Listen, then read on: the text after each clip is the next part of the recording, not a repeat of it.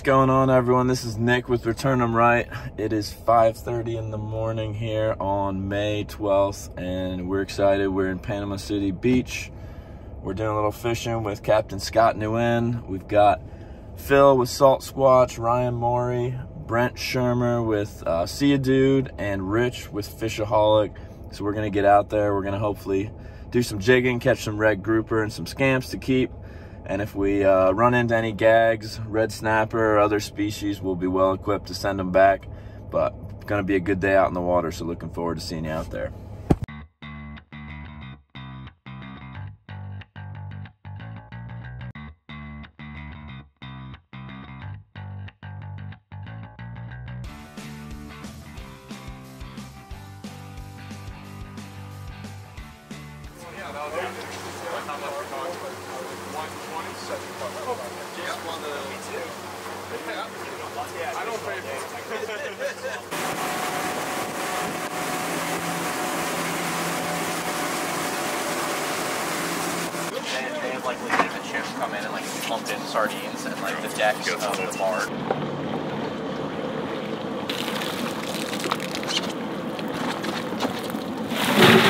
Time you got him out of the house. You've been stuck in there all winter. you?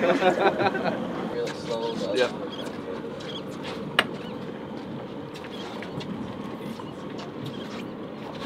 What do you say, first fish?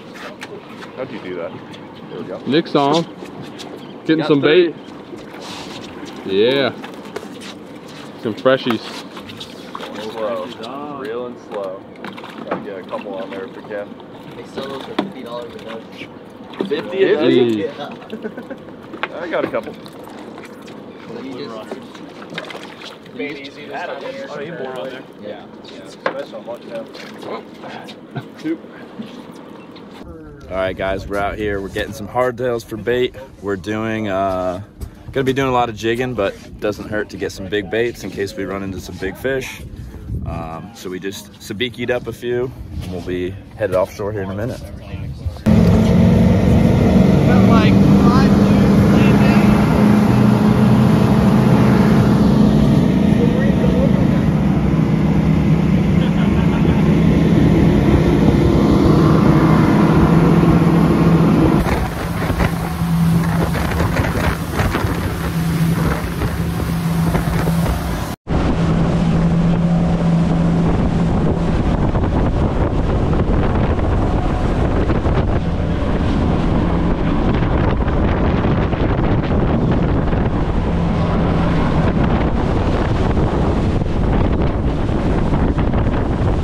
Just got out here. We're about 80 miles out and uh, 230 feet of water. We're dropping these jigs right here. And we're here with Nick from Return 'em Right. And he's gonna talk to you guys a little bit about their program about safely releasing some fish here in the deeper water. So yeah, a lot of these offshore fish that you pull up from deep experience barotrauma. The gases expand in their body, they become bloated, and they are unable to swim down on their own. So if you release them, they'll often float off on the surface and die unless you vent them or descend them, uh, or do something to help them survive. So we're out here uh, catching fish, keeping fish, releasing fish, but we're making sure we take care of the fish we have to release. Yep. Perfect. And yeah, we're gonna get on it. We're targeting uh, to keep. We're targeting uh, red grouper, maybe some blackfin tuna. We already got some triggerfish in the box, but once we get some bycatch like some uh, gag grouper or maybe some amberjack, then we'll go ahead and show you guys some of the devices that we use to safely uh, release them back to the depths. But let's get a jig back down there.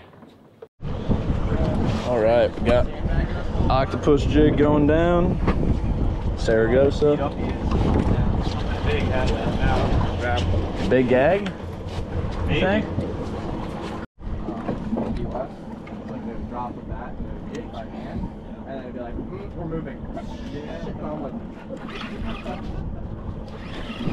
think it's a drop. You got what it's on in the back.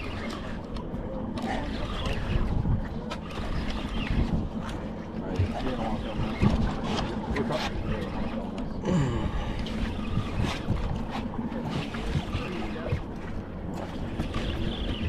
It's coming up pretty easy. Something smaller. Nick's hooked up again. What you got for me, Ryan?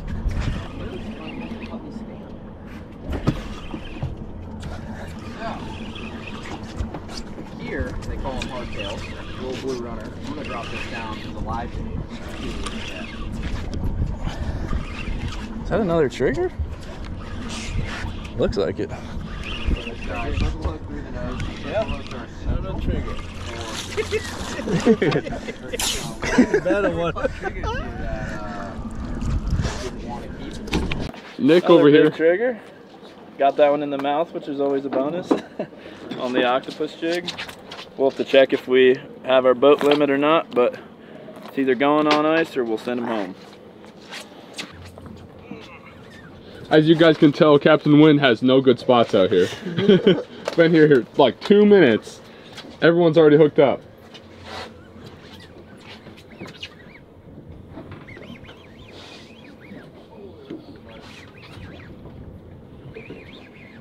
There we go. We got a floater. Woo! Look at that gag. That's a good gag. Look at that gag. Ryan just got a nice gag right there. Wow. These are out of season, aren't they? Beautiful gag. Smoked it. Look at the size of that gag grouper. That's beautiful. That honestly could be my biggest gag grouper too. That's just an absolute stud, man. It's a unit. Yeah, that is a fat fish. Yeah, when you pull these fish up from deep, you can see the stomach coming out of the mouth. That's from barotrauma. Uh, the gases expand in their body and it actually displaces organs. So we're gonna clip this on a SeaQualizer descending device, set to release at 150 feet. I had three pounds, I quickly put two more pounds on. So clip it on the lower jaw. See how you can hold the fish up by that? And you'll see, see how he's floating there? And then we'll just send him back with that weight and it'll carry him back down to depth. And once it hits 150 feet, it'll pop off uh, and he'll recompress on his way down. So all those gases will go back to their normal state and he'll be good to live. I just wanted to be known I got the first fish in the box.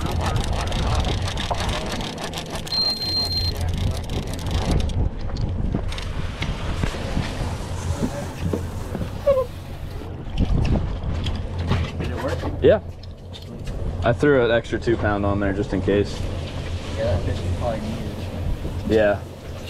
He was what, 16 pounds? 16. So I've noticed there's no golden rule, but I've noticed about I've noticed about a pound of weight will get five pounds of fish down. So Okay. that three pound might have been good, but it doesn't hurt to have a little extra. Nick is hooked up.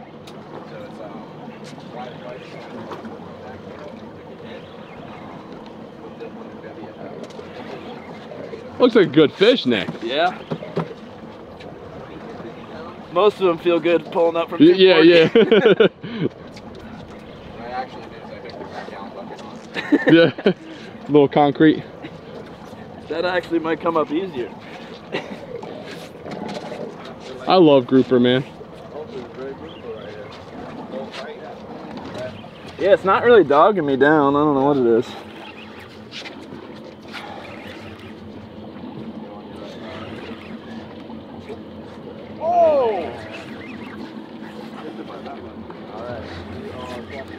Come on. Big red grouper would be nice. I don't know about this deep though.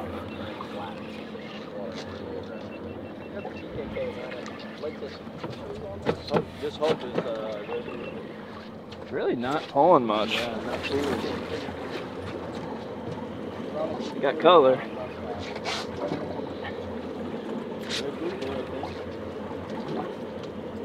Oh, These triggers are wild. He might made it. Ooh, you hear that? Oh yeah. So that's all expanded gas in their body. They actually released some of it, but uh, yeah, that's a beautiful trigger. They experience barotrauma as well. They do a pretty good job of once they get down, surviving better. But uh, beautiful fish. I think we'll keep this one. Throw it in the box. If you wanted to release this fish, would you vent or slow descend? Yeah, you could do either. Um, these ones, since they're kind of more torpedo shaped, if you vent them and get that gas in, they're pretty good at going down. So if you vent them quick and get them back in the water, they do pretty well. Or you can hook a descender on there and send them down. But this one's going in the box. We like to uh, either put them on ice or use the device. Another big trigger. Look at that thing. Hear the air coming out? Check this out. That's a big old trigger fish. He's not happy to see us, but we're happy to see him. These are actually very delicious fish. It's just, um, some people turn their nose up at them because they're actually a little bit harder to clean. If you guys were able to feel this skin right here, pulling back on it, it's almost like sandpaper. It's real rough once you get that slime off of it. The coolest thing about these fish, I don't know if you guys have seen this before, I'm forcing really, really hard on this thing. Can't move it, it's stuck. But if I press this thing, it's a little trigger and it'll pull down that fin. It's really, really cool. You could push as hard as you wanted on that and you're not gonna get it to go, but doink, doink, it's on down. So this guy's delicious. He's a little blown up from Barotrauma, but unfortunately for him, we're not returning him with the return him right gear. We're keeping this guy for dinner. Got a good fish Coming up. on the meat stick. Rich, what you got, buddy? Ah, something small again. Nothing too crazy. 80, 100 pound AJs. what do you have, just a hardtail on here? Yep. Oh, Another big trigger trick. fish. Yep. They're really being Oh, you caught feisty on today. that lure? Yeah. Yeah, I got it on the vibe. Look at that, guys. Oh, excuse you. So this uh, trigger is suffering from a little trauma, but this one is a keeper, so we're gonna throw him on the ice and keep him for dinner. All right, so we got this AJ here on the live bait. Nice fish. They do get barotrauma too, but this one looks pretty good, so we're just gonna get it back in the water quick. Down he goes. Yeah, what do we got there? We got limited triggers. Yeah. Limited AJs. One big gag. Big gag by Ryan. Check out the box, but pretty good first stop. Only spent about maybe 20 minutes here. And you can see we've got a nice box of fish. Monster triggers caught on jigs. Um, good start to the day. All right, so we're dropping some, we're gonna switch and try a cigar minnow. See what happens down there. See if we can't get a couple little scamps off the bottom. Oh, you got it? Yep. It's not a big one, but maybe it's a scamp. Dead weight, then it's scamp. Yep. Come on, be a scamp. I have to prove to Steve that I can get him past the sharks better than the electric reels. Mr. Brown.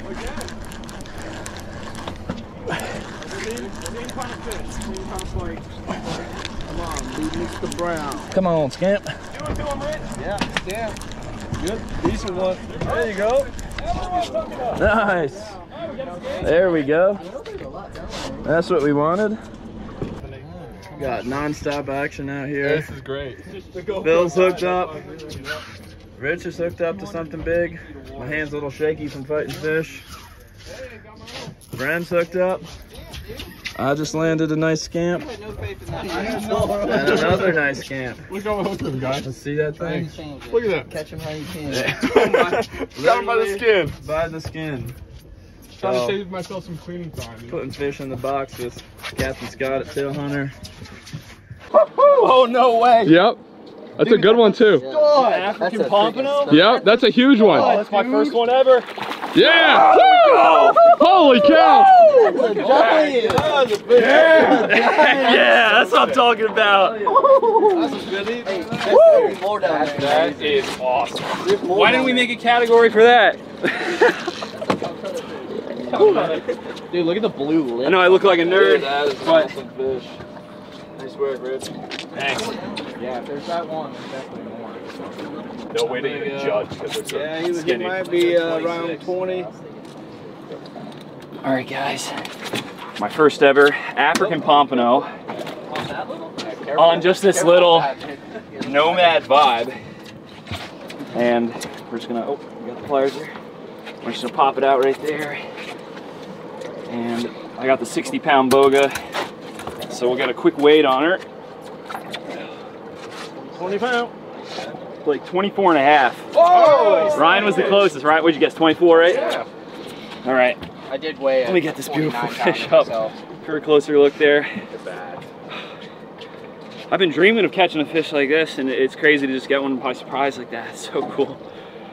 Whew. And they're great eating, I guess. They're delicious. Oh, yeah. They're one of the best fish to eat. So I'm excited. Whew. My arms are shot, I but think I'm ready Rich to is catch some going more to do fish. a catch and cook today. Woo! Let's do. Oh, so now I'm the chef too. That's right. Everything in between. I'll do it. You just look at me for my video. Rich. Can you stop playing around with these fish, Brent? I'm just having a great time out here.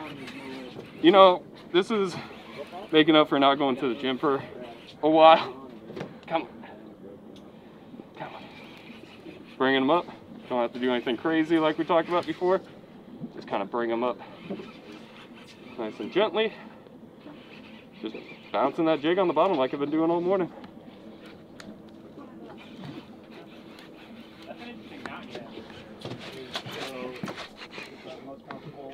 Let's uh, click that in, make it.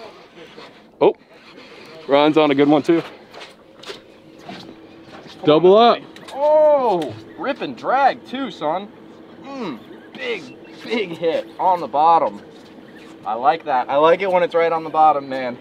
Typically, if you're getting them right down there, straight on the bottom, you have the chance that it's going to be a real nice grouper. So we'll see what this ends up being. All right, Brent, what you got? You got color yet? You know, I wish I could tell you. Too many options out here. I'm going. Hopefully not a trigger. Uh, it's too big to be a trigger. Yeah, oh I know. I say that and then it'll be a trigger. Oh, here he goes. Oh, how much top shot you got? Like 20, Oh, 25 feet. okay. He's under the boat, so be careful.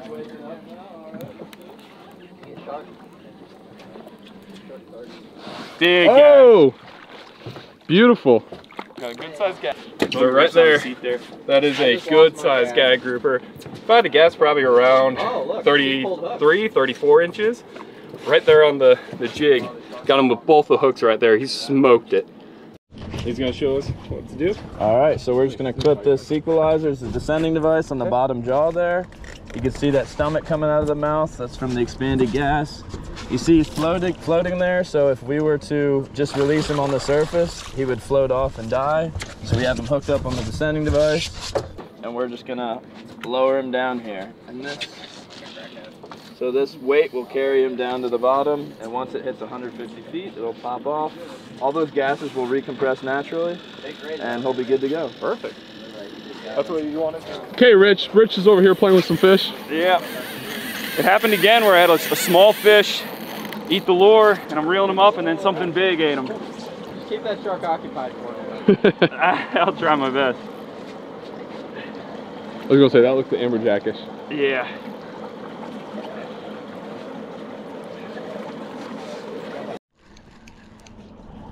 Oh boy. Time to kick. Oh no. Oh. Bonita.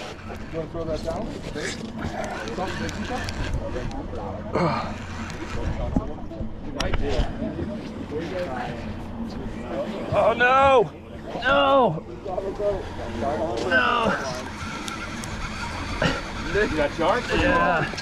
All right, we're on each other's line.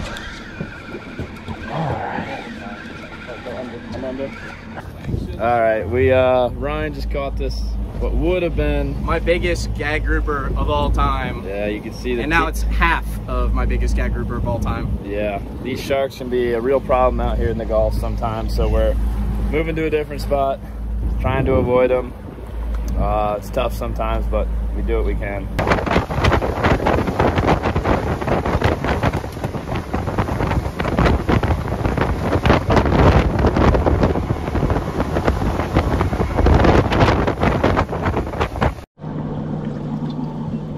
Got a big hardtail on here. We're in about 250. Gonna see if we can get a big AJ up off the bottom. Probably will get wrecked. We'll see. Right, Nick, we're Get rolling. up. I dropped a big hardtail down. And we're trying to get this fish past the sharks. Trying to crank it up quick. Still fighting. Might be big gag, maybe. Maybe a big red snapper. Either way, we don't want we don't want the sharks to get it. Come on. Come on up.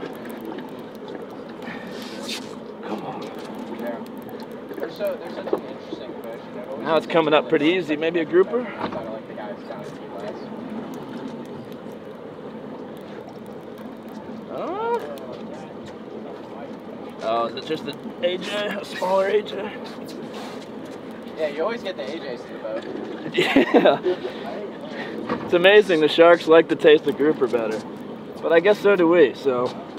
Jack. Yep. There we go. Uh, you want me to hold the weight? Or you want to do it? Yeah, just get this one. Ready? Yep. Back it goes. It's the quickest way to get those ones back.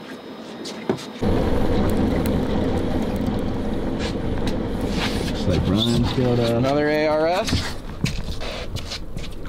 nice red, Big fatty. out of season. Beautiful American red snapper, man. These things are very amberjack-like in the way that they fight.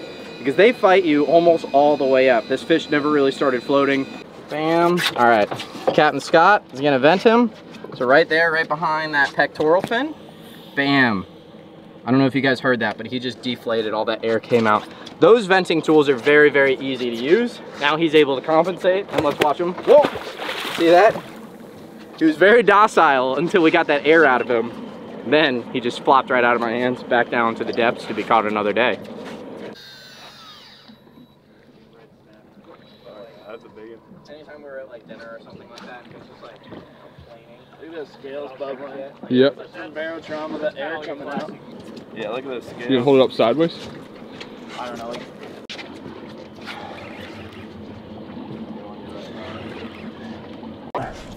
We just dropped the red grouper down and we're gonna quickly, hold on, hook on this big red and send that one home too. Easy as that.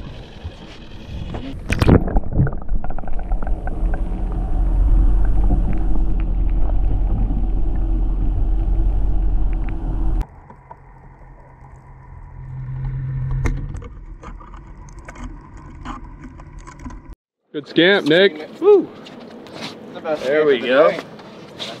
That's what we're looking for. Oh yeah. Beautiful fish. That stomach coming out of the mouth. Circle hook right in the corner. And good eating, so we're throwing him in the box. All right, we just made a run about 20 miles in, a little shallower. Uh, how deep are we right here?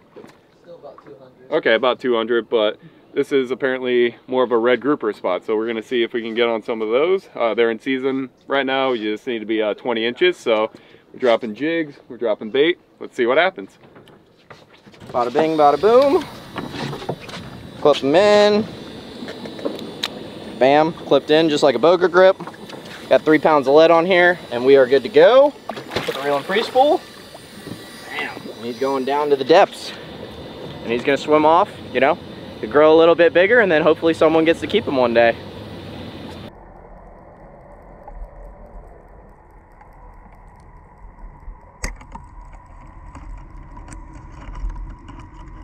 Red grouper there. Basically crushing that little artificial. As soon as it gets to the bottom, I don't even have to jig it to work it to you know give it any action. They're just hitting it on the drop. Pretty cool. Little red grouper going down.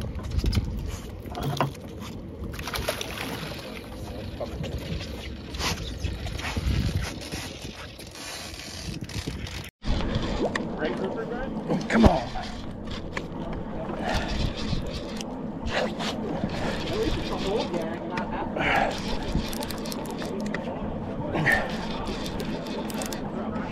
Feel too big, whatever this is.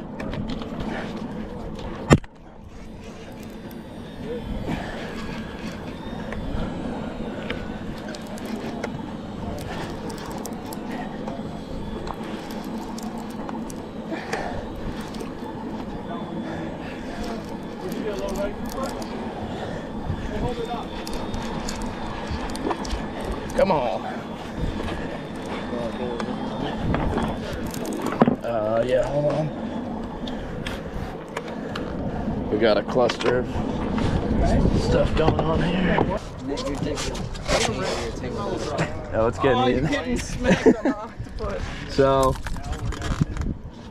right here we have a American Red on a fish saver descending device. So we're gonna send this guy down.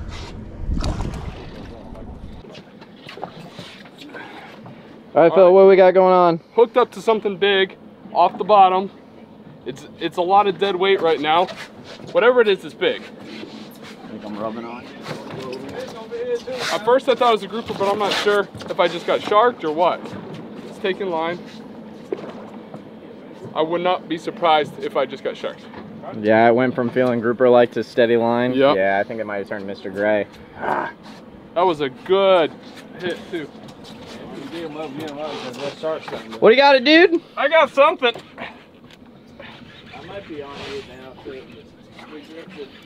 Jake started picking Yeah. up a little action here. Come on. Oh, Yeah. Now you can breathe. I can breathe. There's leader. Looks like him. Red grouper. Red grouper? Take it loose. Oh yeah! I got someone's line. There we go. That's what you wanted. That's what we were looking for. What pound are we looking at? We are looking at 14 pounds. 14 pound red grouper, dude. 14 pounds right there. Money fish. Woo! That's my biggest red grouper I just got. Dude, you earned Absolutely it. You earned it. right Hold him there. up. Let me see that thing. But that is Woo! definitely my biggest red grouper I've ever caught right there. On the jig too. That is so sick. That's why we came here a little bit shallower for. for. So let's see if we can get on him. Seems like people are getting bit. Look at that belly. Dude, you can literally see the gas like bubbling. How big was he? Wicked. Uh, 14 pounds. All right, so we're here with Nick from Return 'em Right. It's an organization that's really kind of focused on making sure you, you guys know how to properly release these offshore fish. Um, I'm sure you can explain it a little bit more if you want to get after it. Yeah, we're all about being a resource for anglers, making sure they know how to release fish, whether it's venting properly or descending fish if they're suffering from barotrauma. When you pull them up from deep, they'll float off. So we want to eliminate waste in the fishery or at least reduce it the best we can. Um, so you got uh, training online, only takes 15 minutes and you get free gear if you fish in the Gulf of Mexico for reef fish. And yeah, we're here to be a resource to help save fish for the future. Yeah, I mean, conservation's the way to go. And if you guys want to check them out, uh, we'll have their website linked in the description down below, or you can find them on their socials at Return Them Right. And you can DM this man, and he'll he'll be the one that responds to you. So thank you, man. Yeah, I appreciate it. It's a Yeah. fun day out here. Oh yeah, we killed it. Yeah, PBs all around.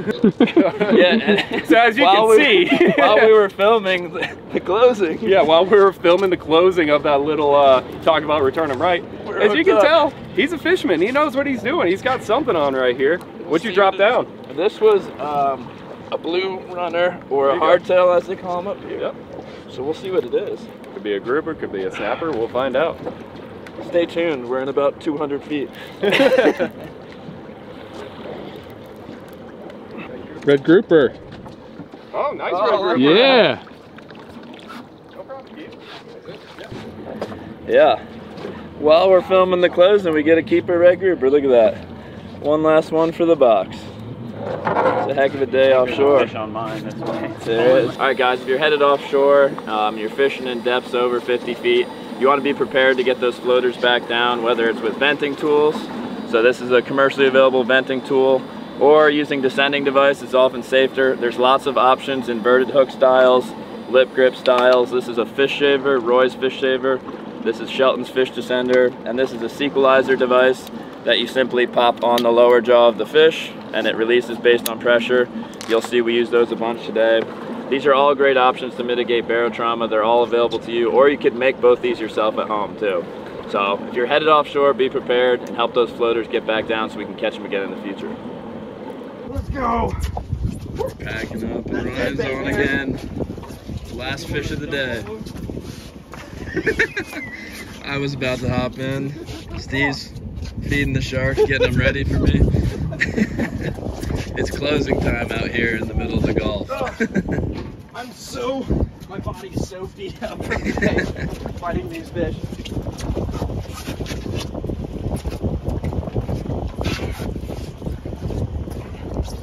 Oh, we got color. Uh-oh. We got color. Is the right color? Gag. One last one. One last, Hey, oh, there's a shark. one last gag. There was? We got sharks again. Don't worry. That's why we gotta put the wood to them. We gotta wait for the All right, we'll send that one down on the descending device and wrap up the trip. All right, guys, we're wrapping up out here. It was a great day offshore with Scott Nguyen with Tail Hunter Charters. Ryan Morie here. I think he won the tournament today, and he also might have gotten his PB gag head.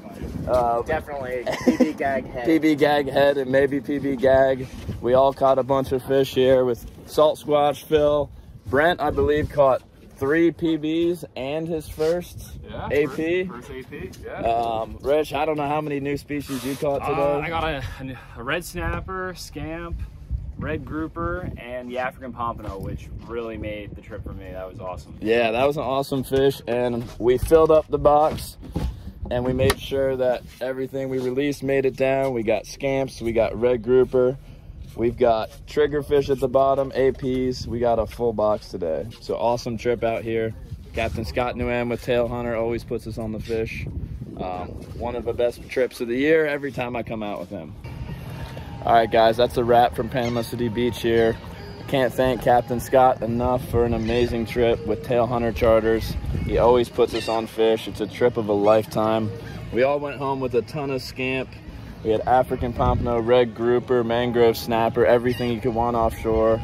Got into a bunch of big red snapper and big gags that we released with descending devices and venting tools. Absolutely awesome day, perfect weather, and just beautiful here in Panama City Beach. So we're gonna get cleaned up, cook some fish, and enjoy the fruits of the Gulf of Mexico.